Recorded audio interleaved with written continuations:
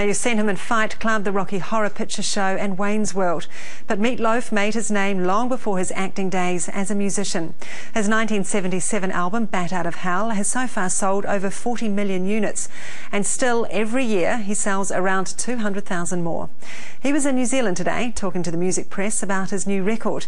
David Farrier went for a chat and took along a gift sausage meat, 500 grams, 500 grams of mince. Mm. This story begins in the kitchen of New Zealand's most well-loved cook, Alison Holst. Your favourite thing about meatloaf? Tastes good. Everyone likes it. Holst made her very first meatloaf aged 23. I'd hired her to make a meatloaf because, frankly, she's the best.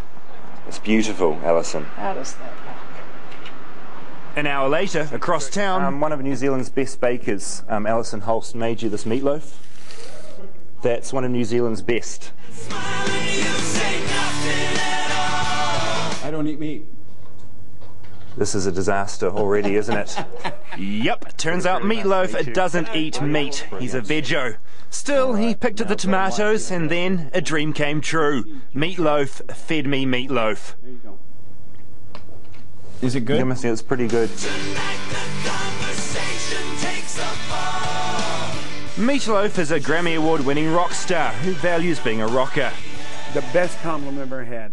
Meatloaf has more rock and roll in his blood and his bones than anybody I've ever met in my life.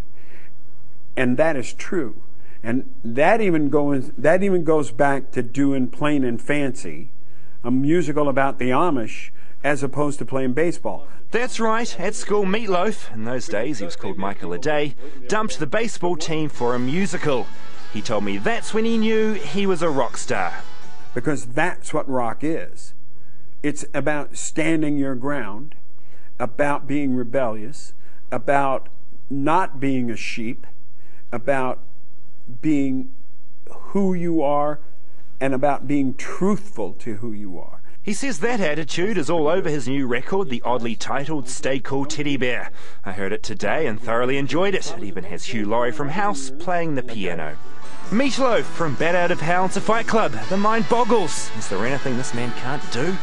Well, before he left, Meatloaf did admit Dancing with the Stars has approached him three times my wife goes, You can't go on that show.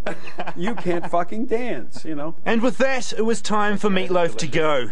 His record label left to fight over the meatloaf. His success understandable, but still a little mysterious. What do you put Meatloaf's popularity down to? Well, I, I always think everybody likes mints. David Farrier, 3 News!